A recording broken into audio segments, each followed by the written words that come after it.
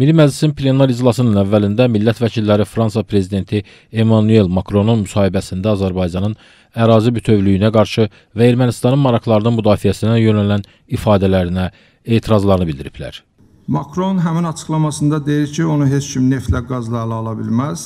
Mən isə deyirəm ki, vicdanlı, ədalətli, satılmayan adam işğalçı Ermənistanın vavuzellasına, Azərbaycan türkçəsində desə, şeypuruna yaxud kütəyinə çevrilməz. Satılmayan şəxslər ali dəyərləri mənimsəmiş və həmin dəyərlərə sadiq insanlardır. 1 milyon müsəlman Azərbaycanlı az qala 34 ildir məşəqqətli, məhrumiyyətlərlə dolu, acı, qaçqın və köçkün həyat yaşayır. Azərbaycan dövlətinin ərazisinin 20%-i 30 il Ermənistan tərəfindən işğal olunanda Ermənistana deyilmədi ki, 1991-ci il sərhədlərinə qayıtmalısan. Bunu etməsən sənə sanksiyalar tətbiq olunacaq. Birinci Qarabağ savaşında Yeltsin Rusiyası Ermənistan tərəfindən açıqdan açığa münaqişəyə cəlb olunsa, olunsa da o zaman yenə deyilmədi ki, Rusiya Ermənistan tərəfindən münaqişəyə cəlb olunub və Rusiya ordusunun 366-cı alayı Xocalı soyqırımının törədilməsində birbaşa iştirak edib. İndi Putin Rusiyası neytrallığını qismən də olsa qoruyub saxlamağa çalışır. Makronu bu qane etmir və utanmadan, abır etmədən deyir ki, Rusiya Azərbaycanın əlini oynayır. Amma Rusiya erməni tərəfdən vuruşsaydı, aralarındakı bütün ziddiyyətlərə baxmayaraq Makron Putinə təşəkkür edəcəkdi. Bilirsiniz, bir qrup prezidentlər var ki, son vaxtı mən baxıram, bunlar tamamilə bilmirlər ki, prezident seçiliblər, yoxsa hər hansı bir tayfa başçısı vardılar. O cümlədən də Makron harda danışdığın bilmir ki, nə danışır. Elə bilir ki, bir yerdə danışdığın başqa yerdə eşitmirlər. Bir həftə bundan qabaq Praqada mollalıq eləyirdi. Praqadan sonra bir həftə sonra Kanal 2-yə tamam onunla alt üst olunan bir müsahibə verib tamam başqa şeylər danışır. Bir həftə bundan qabaq 5 e, Azərbaycanın şərtini dəstəklədiyim bəyan elədilər, bəyanat verdilər. Onun dalınca gəlib başlayıb Azərbaycanın işğalçı adlandırmaq. Bu cür adamdan nə gözləyəsə, bu cür adamdan dünya, bəşəriyyət nə gözləməlidir? Hansı sülhü gözləməlidir? Burada ancaq maraq var. Maraq da aydındır. Və maraqlı tərəfdənsə get dur tərəfinin yanında. Bitdi bu məsələ. Fransa prezidentinin e, müsahibəsi aşkar aşkar şəkildə göstərdi ki, e, biz preventiv addımlar atmalıyıq. Çünki birincisi Azərbaycanın qazanmış olduğu tarixi qələbəyə qarşı siyasi təxribatlar mövcuddur.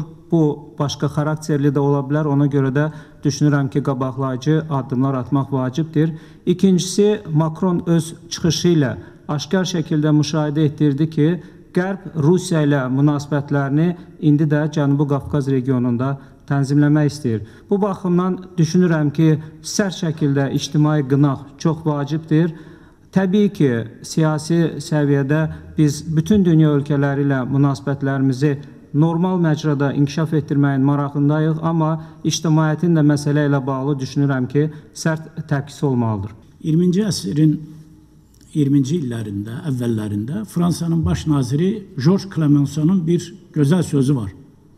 O parlamentdə çıxış eləyəndə dedi ki, əgər biz Bakını, Azərbaycanı itirsək, bütün Qafqazı və yaxın orta şərqi itirəcəyik. Və bu gün də əgər Makron həmin iddialarla çıxış eləyəcəksə, o bütün Qafqazı itirməli olacaq. Və təbii ki, bu cəhdlərin qarşısında onun bu regiona burnunu soxması dayanır. İkinci, Lozan konfransında Lord Kerzdan erməni məsələsini müzakirə eləmək istədi.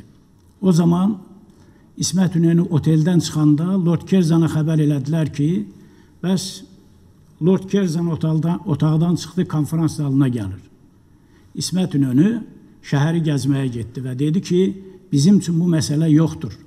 Əgər Makron və digər qərb siyasətçiləri yenidən ölmüş olan Dağlıq Qarabağ məsələsini gündəliyə gətirmək istəyirlərsə, tarixdən bu iki nümunəni özlərinə ibrət almalıdırlar.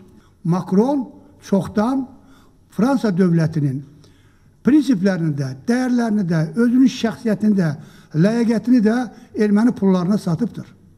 Bunu anlamalıdır. Ona görə də bizim onlarla bütün münasibətlərimiz kəsilməlidir. Senat qəbul edir ki, Azərbaycana qarşı sanksiyalar tətbiq olunsun. Hansı sanksiyalara? Azərbaycan niyə edib ki, öz torpaqlarını işğaldan azad edib? Ona görə mənə gəlir ki, biz Fransa ilə münasibətlərimizi yenidən baxmalıyıq, diplomatik əlaqələrimizə yenidən baxmalıyıq və biz əlbəttə ki, Xarici İşlər Nazirliyindən də bu məsələ ilə bağlı ciddi mövqeyin ortaya qoymasını gözləyirik. Deputatların ümumi rəyi bundan ibarət oldu ki, Fransa sülh danışıqlarında vasitəçi ola bilməz.